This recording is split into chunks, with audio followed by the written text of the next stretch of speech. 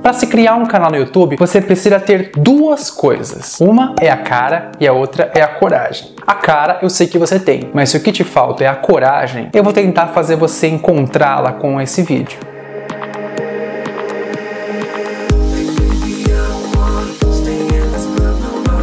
E aí, queridões, beleza?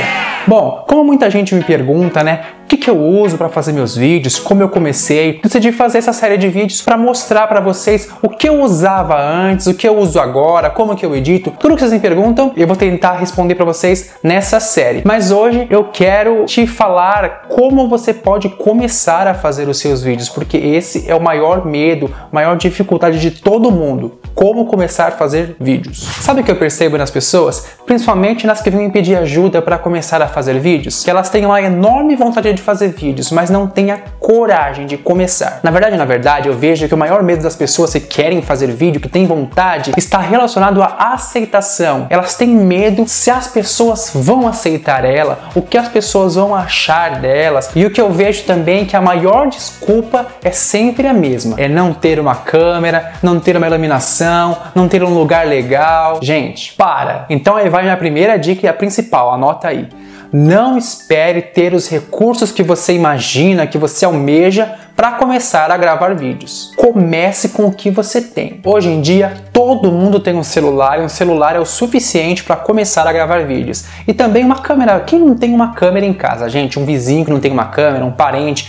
Todo mundo tem uma câmera velha. Quando eu comecei no YouTube em 2010, eu vou falar sobre isso mais pra frente, tá? No meu começo em 2010, no meu outro canal que eu tinha é, eu comecei com uma Cybershot. Sabe aquela câmerazinha preta da Sony? Então, foi com essa. Vou mostrar aqui para vocês uma imagem de um vídeo que eu fiz para vocês verem como que era a imagem de quando eu comecei.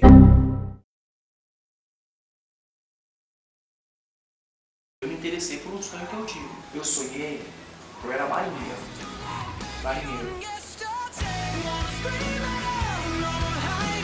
Vale lembrar que isso aqui não é um cenário, tá? Isso aqui é aquele fundo verde, o chroma key, e dá para você desconfiar que isso aqui era uma cybershot? Então, ó, a desculpa de não ter uma câmera boa, não ter iluminação, não ter local, não cola. Eu gravava esses vídeos na cozinha e de madrugada na minha casa, quando tava todo mundo dormindo, Aí eu arranjava umas luzes assim. Eu vou explicar para vocês depois certinho como que eu fazia para ter uma iluminação boa, eu vou ajudar vocês, gente, eu vou ajudar. Afinal, para se fazer um vídeo legal, precisa de iluminação. Inclusive, para usar chroma key, precisa de uma iluminação muito boa. Tudo bem que para fazer um vídeo de chroma assim, precisa de uma iluminação boa, só que não precisa ser profissional, gente. Eu fiz com tudo caseiro. Eu vou mostrar para vocês mais pra frente tudo que eu usava de caseiro e tudo que eu fui melhorando com o tempo.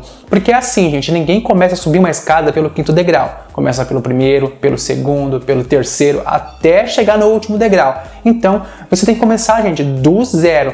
Não adianta você começar com a melhor câmera, com a melhor imagem, com a melhor iluminação, com o melhor cenário lá na Globo e você não ter ideia, você não ter assunto, você não ter o que fazer no vídeo. Então é aí que entra a dica para você se dar bem fazendo vídeos. Você precisa arranjar um método de compensar a sua falta de recursos. Vamos supor, você não tem iluminação. O que você vai fazer? Você não vai gravar à noite, não vai gravar num lugar escuro, vai gravar na luz do dia. Eu comecei gravando meus vídeos na luz do dia, porque a luz do dia não tem coisa melhor, além de ser grátis, ela é a melhor iluminação que tem. Quando eu comecei esse canal esse ano, eu comecei a gravar de frente para a janela usando a luz do dia. Então, ó, a câmera top ainda você não precisa, a iluminação também você ainda não precisa. Você pode começar a gravar com o seu celular e na luz do sol de dia, que vai ficar uma imagem muito legal. Só que tem um porém. Você vai gravar na luz do dia, vai gravar ao ar livre, vai captar sons, carro passando, passarinho, gente falando. Então você precisa compensar isso. Como? De duas formas.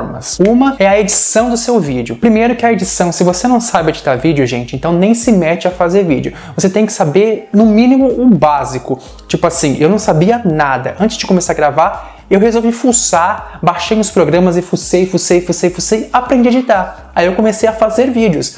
Porque no mínimo você precisa cortar e colar um vídeo, né? Colar os trechos do seu vídeo, porque não pode deixar um vídeo reto, grandão, que você fica. Hum, é, então não dá. Então isso você precisa cortar. Então a primeira coisa que você tem que fazer é editar o vídeo, saber editar. E a outra coisa para você compensar tudo isso é você pegar um assunto que você manja mesmo para que você consiga prender a atenção da pessoa e a pessoa não perceber os erros, não perceber a falta dos instrumentos de trabalho, ou seja, a câmera, é um microfone, uma iluminação. Você deve escolher um tema, um assunto que você manje muito bem, para que você possa falar com propriedade, para que a pessoa que esteja assistindo, ela se sinta à vontade com você e queira ouvir o que você está falando, se interesse em você e no que você está falando, para que ela não venha perceber a falta de recursos, falta de iluminação, o chiado que vai ficar porque tem carro passando. Porque se você escolher um assunto que você se dá bem, que você sabe falar, que você consiga transmitir o que você pensa que você quer passar, porque uma coisa é você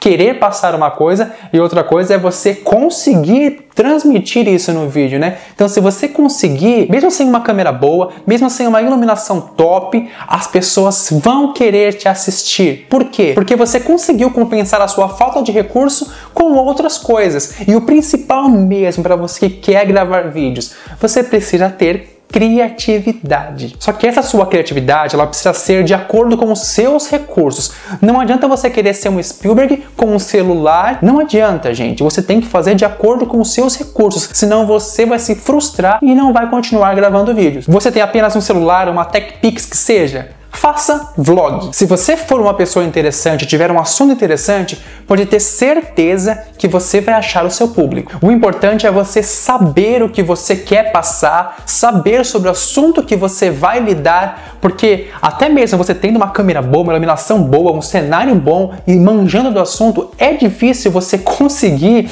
é, um público fiel, um público fixo, né? Imagine se você não tiver isso, se você não souber falar na câmera, você fica. Ah, hum, então, né? Hoje eu fui. Então, não dá, né? Então você precisa disso, você precisa ter criatividade e manjar sobre o assunto. Os recursos, câmera, iluminação, você vai adquirir com o tempo, porque se você esperar ter todos os recursos, você vai acabar tendo câmera, iluminação, cenário da Globo, e não vai ter a coragem de gravar vídeo. Então faça como eu, meta as caras e a coragem. Se você tem vontade, faça. Não se importa com o que os outros vão achar, não se importa com o que os seus amigos vão pensar. Faça que nem eu, comece a gravar vídeos e não conta pra ninguém. Não posta no Facebook, não posta em nada. Deixa que eles descubram. Um dia eles vão descobrir e vão falar: "Nossa, você faz vídeos". Se você é que nem eu, que tem vergonha, tipo assim, eu não tinha vergonha das pessoas que eu não conhecia eu tinha vergonha das pessoas que eu conhecia verem meus vídeos. Quando eu comecei em 2010, eu me lancei com outro nome e não divulguei para ninguém. É, só que eu parei de fazer vídeos né, e voltei esse ano. Esse ano eu coloquei meu nome, Rafa. Eu também não divulguei para ninguém do meu Facebook. Tanto que eu criei há pouco tempo um Facebook novo e comecei a divulgar, não, eu comecei a passar para vocês que são do, face, do, do YouTube, que me seguem, e eu divulgo para vocês lá os vídeos, porque eu não divulgo para quem é, me conhece. As pessoas que me conhecem vão descobrindo aos poucos que eu faço vídeo, porque eu não divulgo, porque é, você sabe, né, que é complicado essas coisas, né, de pessoas que você conhece.